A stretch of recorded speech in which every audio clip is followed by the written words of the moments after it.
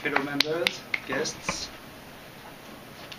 Since I was a child, I've always been touched by the injustice in the world. I had a very happy childhood. Why couldn't others have a good one too?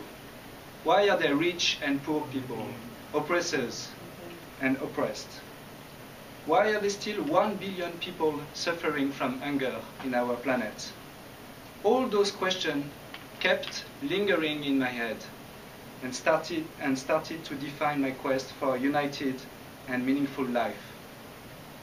The tipping point was a one month trip to Ivory Coast to help children of the street living in shelters and prison. I was just 18 and it was a life changing experience.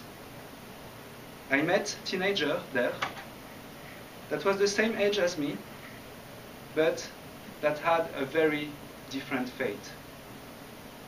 They had lost their family, were caught alone at night wandering in the streets of the capital, Abidjan, and sent to jail as a preventive action rather than for any crime.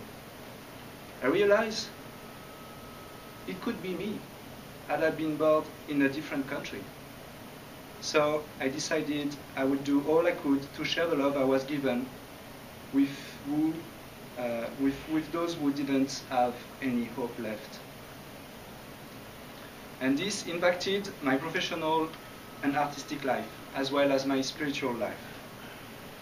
There in Africa, I've seen pictures of white Jesus in those African churches, and I was shocked. I started looking for something closer to the original message I read in the Bible.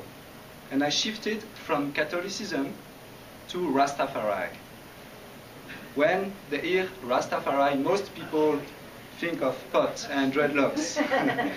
but Rastafari is actually a way of life that promotes a healthy and simple living.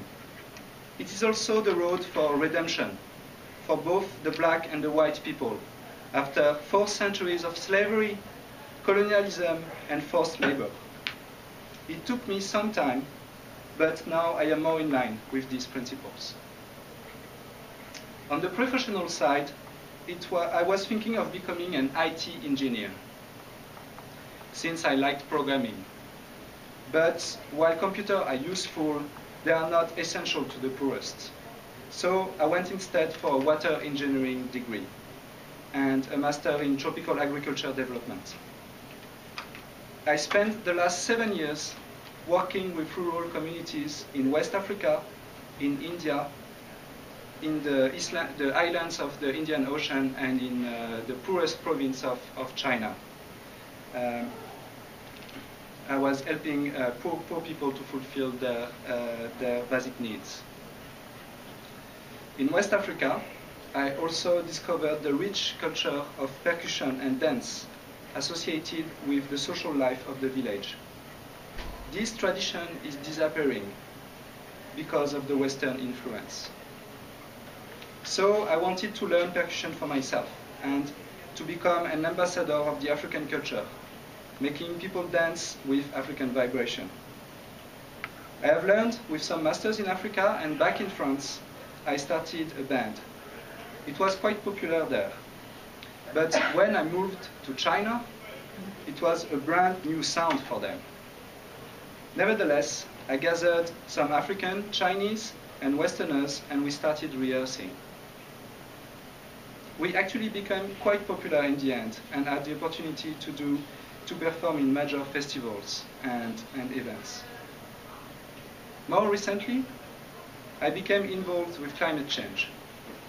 In China, we were helping rural families to reduce their carbon footprints by providing energy from animal waste.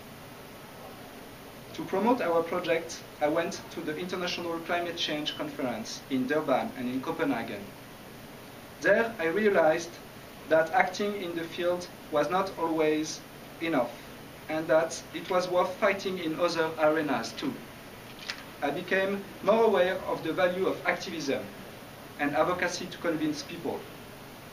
So this summer, I joined the Climate Reality Project, and I am now accredited to deliver presentation on the impact of climate change on, on, and on the solutions we can implement. That is why I am here today. I want to improve my public speaking skills in order to convince, inspire, and call for action on this issue that will affect us all. Thank you for your attention.